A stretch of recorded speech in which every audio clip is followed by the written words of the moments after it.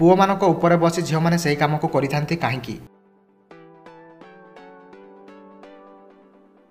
ଏହାର ଉତ୍ତର ଏହି ପୋଜିସନରେ ସାମାନ ପୁରା ଭିତରକୁ ଯାଇଥାଏ। ସେଥିପାଇଁ ଝିଅମାନେ ପୁଅମାନଙ୍କ ଉପରେ ବସି ସେହି କାମକୁ କରିଥାନ୍ତି। ପରବର୍ତ୍ତୀ ପ୍ରଶ୍ନ କାର୍ଯ୍ୟକ୍ରମ କରିବା ସମୟରେ ଗାର୍ଲଫ୍ରେଣ୍ଡ ପାର୍ଟିରେ ନ ନେଲେ କ'ଣ କରିବା ଉଚିତ? ଏହାର ଉତ୍ତର ତାଙ୍କୁ ସେହିଭଳି ଭିଡ଼ିଓ ଦେଖାଇବା ସହିତ ତାଙ୍କର ପ୍ରଶଂସା କରିବା ଉଚିତ। ପରବର୍ତ୍ତୀ ପ୍ରଶ୍ନ କେଉଁ ପୋଜିସନରେ ସମ୍ଭବ କଲେ ସବୁଠାରୁ ବେଶୀ ମଜା ଆସିଥାଏ? ଏହାର ଉତ୍ତର ନିଜ ସାଥୀର ଦୁଇ ଗୁଡ଼କୁ ଟେକିକି ସମ୍ଭବ କଲେ ସବୁଠାରୁ ବେଶୀ ମଜା ଆସିଥାଏ।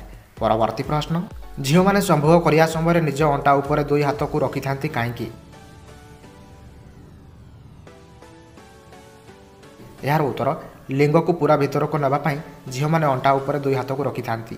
ପରବର୍ତ୍ତୀ ପ୍ରଶ୍ନ କେମିତି ସମ୍ଭବ କଲେ ପୁରୁଷର ଲିଙ୍ଗ ନାଭି ପର୍ଯ୍ୟନ୍ତ ଯାଇଥାଏ?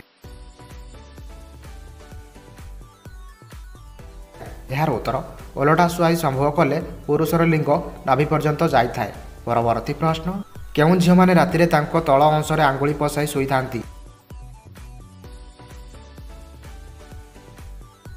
ଏହାର ଉତ୍ତର କୁଆଁରୀ ଝିଅମାନେ ତାଙ୍କ ତଳ ଅଂଶରେ ଆଙ୍ଗୁଳି ପଶାଇ ଶୋଇଥାନ୍ତି। ପରବର୍ତ୍ତୀ ପ୍ରଶ୍ନ କମ୍ ବୟସର ଝିଅମାନଙ୍କ ସହିତ ସେହି କାମ ଅଧିକ କଲେ କ'ଣ ହୋଇଥାଏ?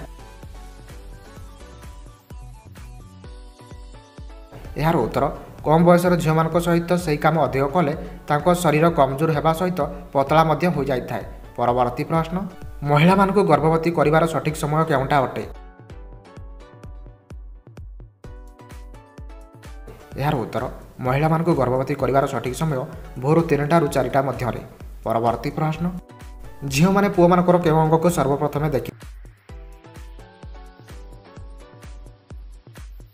ଏହାର ଉତ୍ତର ଝିଅମାନେ ପୁଅମାନଙ୍କର ଚେହେରାକୁ ସର୍ବପ୍ରଥମେ ଦେଖିଥାନ୍ତି। ପରବର୍ତ୍ତୀ ପ୍ରଶ୍ନ କେତେଥର ଝଟକା ମାରିବା ଦ୍ୱାରା ପୁରୁଷର ସାମାନ ପୁରା ଭିତରକୁ ଚାଲି ଯାଇଥାଏ?